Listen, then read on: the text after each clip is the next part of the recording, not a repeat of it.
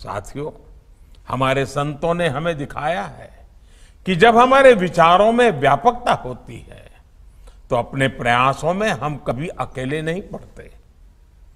आप भारतवर्ष की धरती पर ऐसे कितने ही संतों की जीवन यात्रा, अगर आप देखेंगे, जिन्होंने शून्य संसाधनों के साथ शिखर जैसे संकल्पों को पूरा किया, यही विश्वास, यही समर्पण मैंने पूज्य आत्मस्थानंद जी के जीवन में भी देखा था।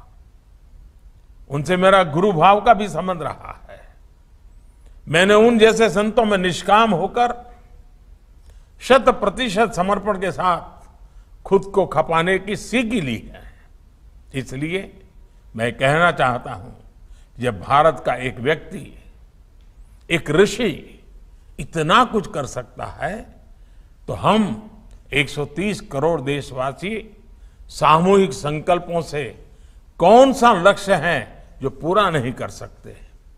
संकल्प की शक्ति को हम स्वच्छ भारत मिशन में भी देखते हैं।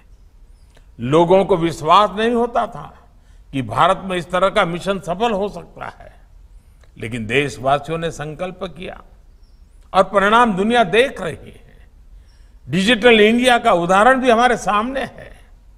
डिजिटल पेमेंट्स की शुरुआत के समय कहा जाता था कि ये टेक्नोलॉजी भारत जैसे देश के लिए नहीं है, लेकिन आज वही भारत डिजिटल पेमेंट्स के क्षेत्र में वर्ल्ड लीडर बनकर उभरा है। इसी तरह कोरोना महामारी के खिलाफ वैक्सीनेशन का सबसे ताज़ा उदाहरण हमारे सामने है। दो साल पहले कई लोग कैलकुलेशन करते थे कि भारत में सबको वैक्सीन मिलने में कितना समय लगेगा? कोई कहता था पाँच साल, कोई कहता था दस साल, कोई कहता था पंद्रह साल। आज हम डेढ़ साल के भीतर 200 करोड़ वैक्सीन डोज के करीब पहुँच चुके हैं। ये उदाहरण इस बात के प्रतीक है कि जब संकल्प शुद्ध हो तो प्रयासों को पूर्ण होने में कोई देर नहीं लगती। रुकावटों से भी रास्ते निकलते हैं।